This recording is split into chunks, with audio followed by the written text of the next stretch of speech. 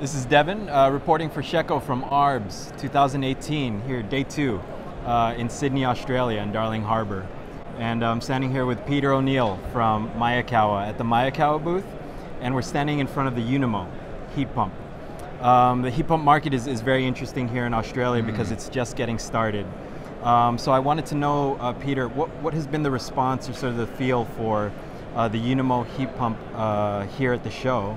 And what is your expectation for um, its the market here in Australia to receive heat pumps uh, in the in the near future? Okay. If I look back about six to 12 months ago, the amount of inquiries we're getting would possibly be around about one a month. Over the past three to four months, we're getting inquiries just about every week, so which tells me there's more interest in the Unimo, and, and I think mainly due to uh, the price of gas, the price of electricity, uh, so we see a, I think we're at the, at the first step of a huge market with CO2 hot water heat pumps. What we'd like to see, of course, is, is that market take off, but I know it's going to be slow and steady if I know from the Australian market that's generally the case. Uh, but I think it'll certainly take off and, and we'll see some good growth.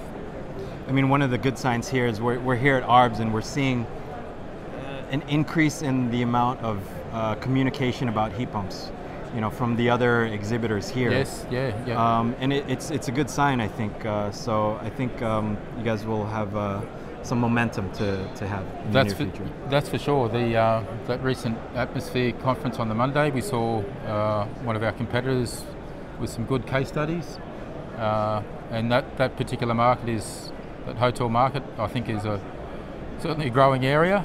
Can be a growing area for heat pump uh, for the heat pump industry hotels as well. So the fact that there's two or three players in the market, all pushing heat pumps, with the uh, with the the assistance, if you like, of shecco, uh, pushing the natural refrigerant side, then can only see heat pumps growing substantially in the next few years.